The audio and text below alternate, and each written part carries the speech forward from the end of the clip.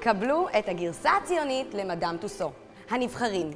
מוזיאון השעווה הישראלי שמציג 50 בובות בדמותם של הכוכבים הגדולים במדינה. לפני חודש פורסמו תמונות של כמה מהבובות פה והגולשים איבדו את זה לגמרי. הטענה המרכזית הייתה שהבובות לא דומות למקור והן אפילו קצת קריפיות. בוא נגיד, מזל שהבובות לא יודעות לקרוא טוקבקים. בינתיים.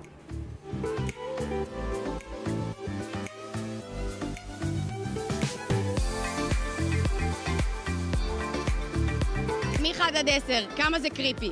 אני אגיד לך, התחלתי ללכת ככה במסדרון, אני רואה אנשים ואני רואה בובות ואני לא יודע מי אמיתי מי לא, כאילו, הם מסתכלים עליי, לא מסתכלים עליי. אני מרגיש כמו.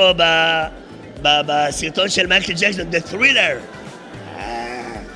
תשמעי, כשראיתי אותה פעם ראשונה, לא הצלחתי להתקרב אליה, כי הם עשו משהו באישונים, כאילו אמרתי עוד רגע היא קמה או לדקור אותי, או לתת לי חיבוק, אחד מהשניים. הבובה דומה בעיניך? הבובה מאוד דומה לי, הוא קצת שמנמן יצא, לפי דעתי. יש מצב שהיא תחליף אותך בהופעות? וואי, הלוואי, הלוואי. אנחנו נראים אותו דבר, לא? תגידי לי את, כמה היא דומה לי? אחד? באמת? אני לא מצליח לשים את האצבע על מה. אני חושב שזה אולי האף לא בכיוון הנכון ומשהו בעיניים הקרובות. אשתי אומרת, קיבלתי קומפלימנט, במציאות אתה הרבה יותר יפה מה- מהבובה הזאת. הלוואי שלא תהיה לי פיגמנטציה כמוה ואני אשאר מתוחה, ככה מוזרקת כאילו כל הזמן. הפסלים נעשו בחו"ל, בסין, ואני הייתי צריך להיות אחראי שהדברים באמת יוצאים כמו שצריך, כי הפסלים לא מכירים את הדמויות פה באמת. פתאום אני מקבל אה, אה, את העבודה עם אף ארוך מדי, או שאני מקבל את האף נמוך מדי, אז אני צריך להגיד להם, תרימו את האף, תורידו את האף. מה אתם אומרים? עליי, כן. זה קצת מפחיד אותי. איזה אבא את מעדיפה? את האחד שהוא לא משעווה. נראה כמו צפרדע. זה מה שנקרא פרגון אמיתי מהילדים. בהתחלה חשבתי שהוא בכלל לא דומה. אני, הצד שלי זה שמאל כזה מפה, והוא מחזיק מימין.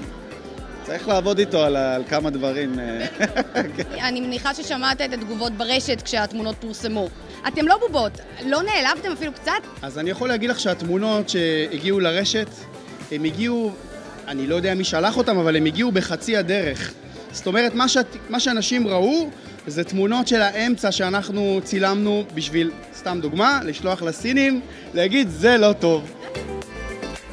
אני אתן לך סקופ.